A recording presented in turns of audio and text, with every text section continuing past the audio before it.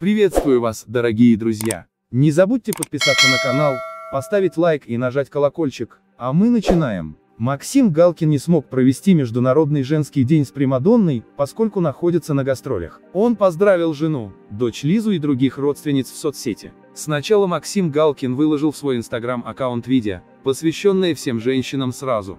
При этом в кадре предстали его близкие, возлюбленная Алла Пугачева и наследники Лизы и Гарри. Юморист нашел множество теплых слов в адрес представительниц прекрасного пола. Затем Максим Галкин решил поздравить своих близких второй публикацией. Он разместил ролик под песню Кристины Арбакайта. На видео предстает Примадонна, ее дочери Кристина и Лиза, а также внучка Клава.